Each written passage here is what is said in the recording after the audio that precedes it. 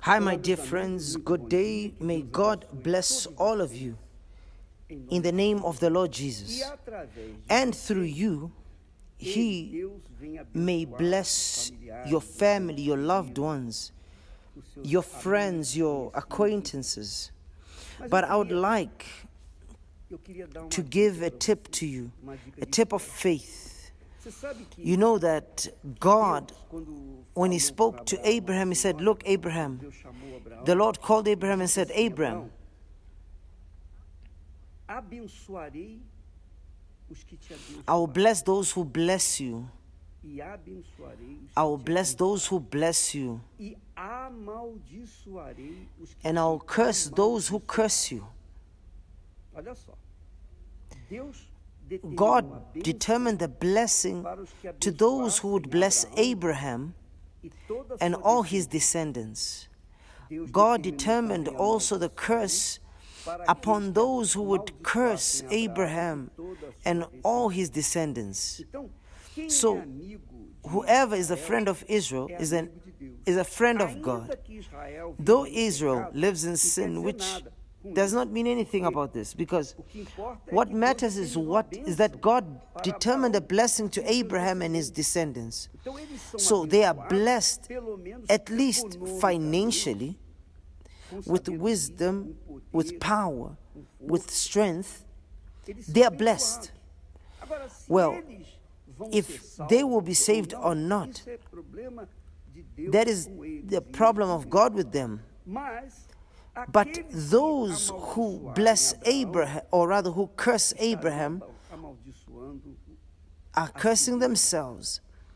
And those who bless Abraham and his descendants are blessing themselves.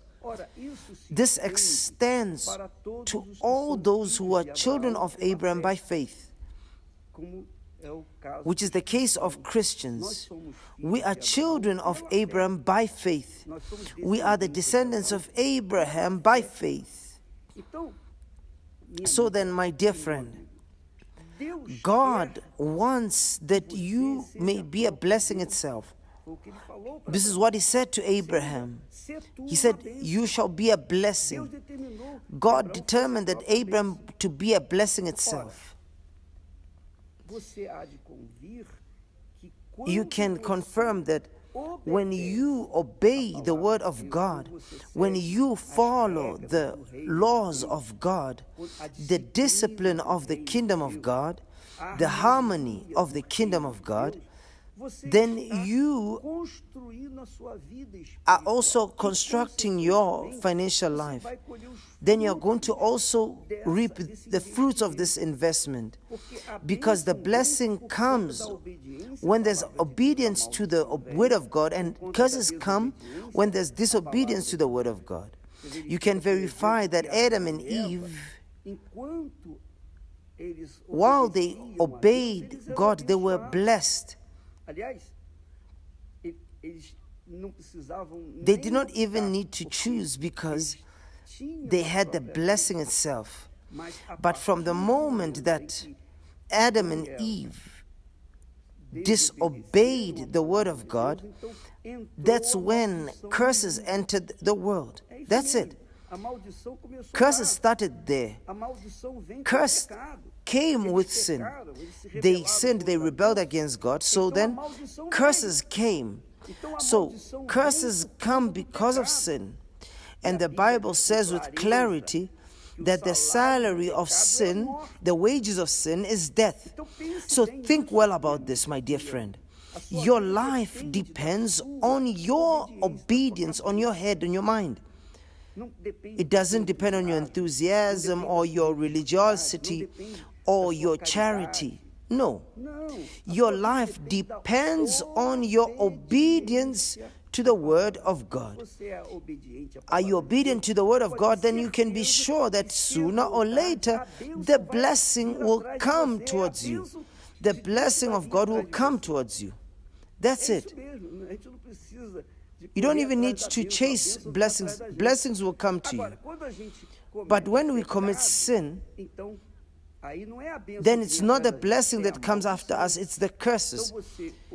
So today da sua reaping blessings depending on your obedience, or you are reaping curses on account of your disobedience, which is sin. So, as I'm, as I pessoas, "Ó, nós usually say, we're ah, going to break que que eu through. Do you know why I say this? And I'm going to say this until the last day of my último momento da life. minha vida. Quando eu tiver pra partir When I will mundo, eu vou leave this "Nós word, I'm going to say we're going to break through. Porque eu tenho Because I have planted obedience. And that obedience me garante a guarantees the blessing. It guarantees me to be a blessing itself, which is what needs to happen with you. Obedience to the word of God. Obedience to the word of God. Not obedience to the word of the past or the church or the religion. No.